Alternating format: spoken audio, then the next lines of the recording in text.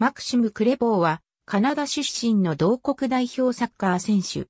バンクーバーホワイトキャップス所属。ポジションは GK。2010年よりモントリオールインパクトのアカデミーに入団。U-21 チームでのプレーを経て、2013年3月にクラブとホームグローンプレイヤー契約を結んだ。MLS 開幕前の2015年1月5日、ドイツに渡航し、ホルトナ・デュッセルドルフのトレーニングに10日間参加した。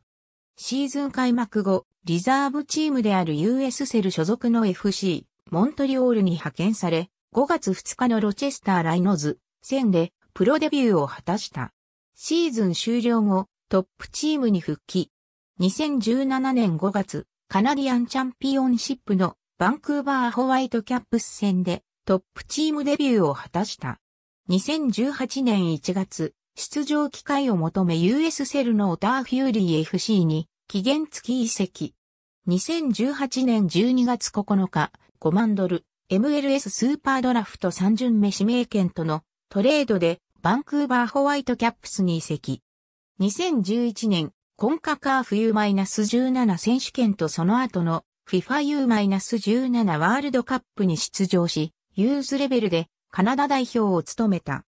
その後、2013コンカカーフ U-20 選手権でカナダ代表として出場。2015年8月、パンアメリカン競技大会の参加選手に選ばれた。